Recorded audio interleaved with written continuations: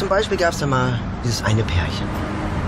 Mann und eine Frau, glücklich verheiratet. Er war, glaube ich, ähm, Sonderschullehrer und sie, keine Ahnung.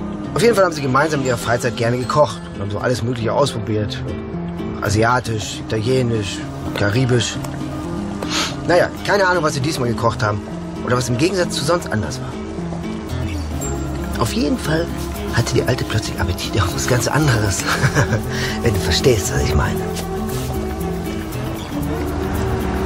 Naja, so weit, so romantisch nur. Leider hatten die beiden vergessen, dass da dieser Topf auf dem Herd stand und der glühend heiß war.